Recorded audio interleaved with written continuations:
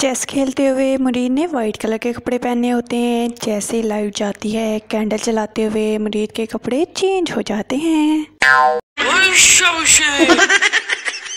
मुरीद बेड के पास कैंडल जलाकर माचिस प्लेट के पास इस जगह पर रखता है। लेकिन जैसे ही आकर बेड पर मुरीद लेटता है तो प्लेट के पास से माचिस लैंप के पास आ जाती है। तेरा बाप यहाँ छोड़कर गया था कि तेरी माँ?